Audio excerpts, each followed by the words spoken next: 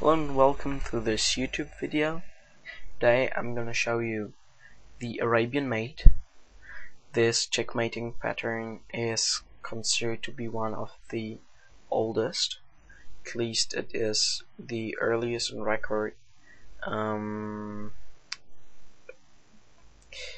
this is because reforms were made to the powers of most of the other pieces uh, in the 15th century. So, and only the rook and knight and king, um, which you see in this position, uh, have always moved the same way as they do today. So, um, see, it's in this position. It's mate in one, checkmate. Um,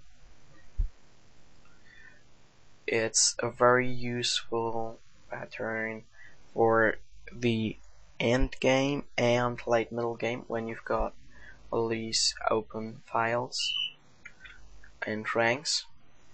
So it's very useful. Open files and ranks. Okay um this was mate in one. This is when the king king is in the corner which doesn't happen very often. So um, I'm gonna show you mate in uh, when the king is in more in the middle. Okay, this is a position where it's basically the same. Note that the king cannot go here or here, so his own pawns. Um, the knight is protected by the pawn, uh, and the knight protects this square in this square. And the rook here the whole um, eighth rank. So uh, and the pawn also this field. So the only thing we need is the king to be checked and we achieve this this way. Okay enough theory now more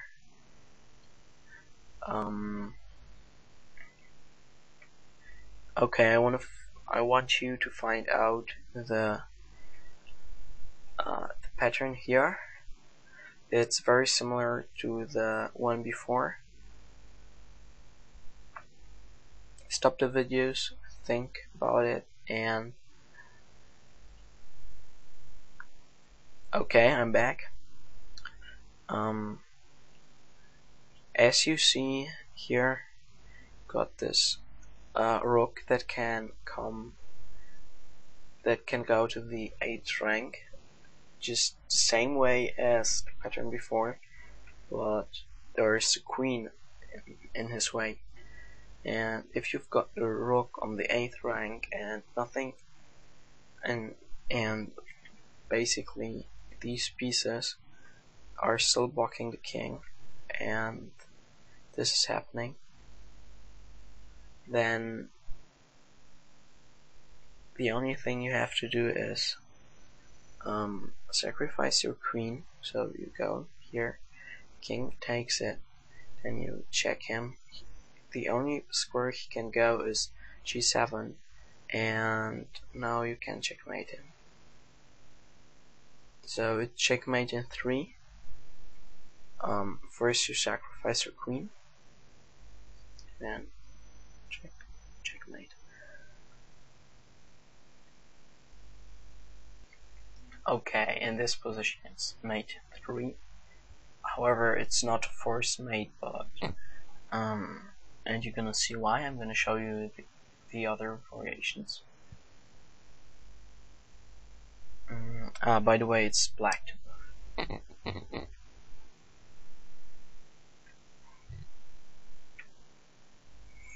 I will flip the board. Okay. Mm. Stop the videos, thinking through.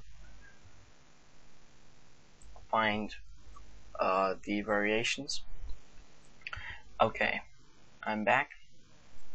First move is well, first of all, you see this rook can go here and checkmate here.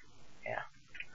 So uh, he could this rook could if there wasn't this rook on a1 which protects all the first rank so we have to remove that rook sacrificing the queen uh, okay. So the knight takes um now rook d1 and white sees this checkmate here and cannot do anything about it. So move of desperation and checkmate. Mm, however in this position. Instead of moving with the pawn uh, white could have tried. Um, you see this um, knight allows the rook to go onto g1 and checkmate.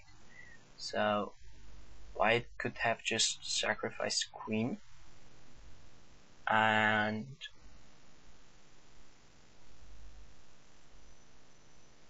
and white would have lost um, no matter what it would do it would lose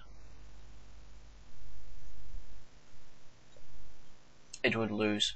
So um, it's really worth knowing this pattern. Okay, thank you so much for. I know, sorry, sorry, I've got another one for you.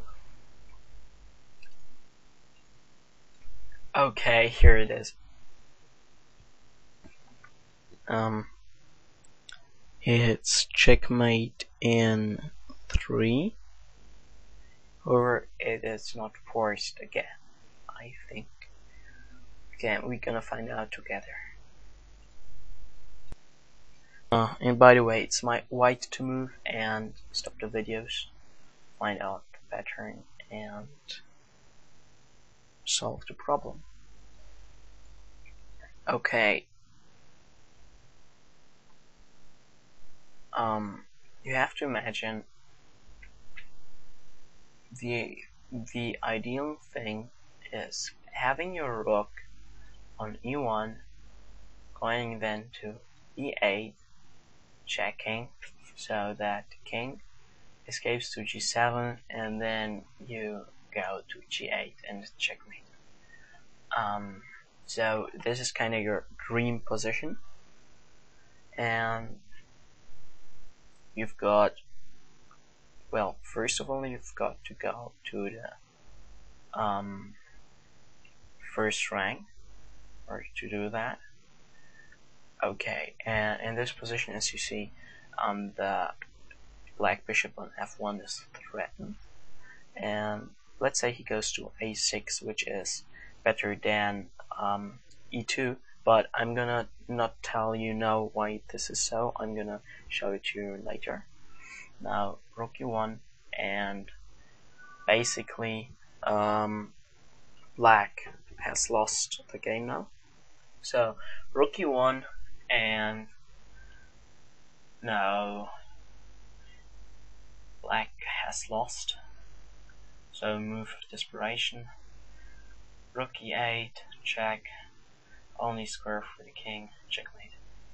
Okay I'm gonna show you why um, e and after rook c1 after rook c1 bishop to e2 could have be seen for black as bad because um, rook c8 check uh, let's say king a7 if he goes to G, uh, g7 then it's checkmate um, so, and as you see, the uh, there is a skewer on the king and the bishop.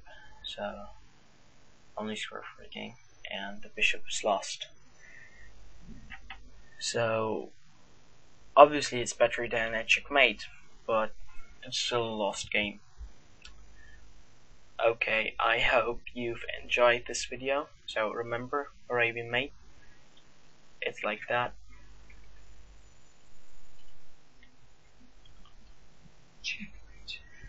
And have fun with it.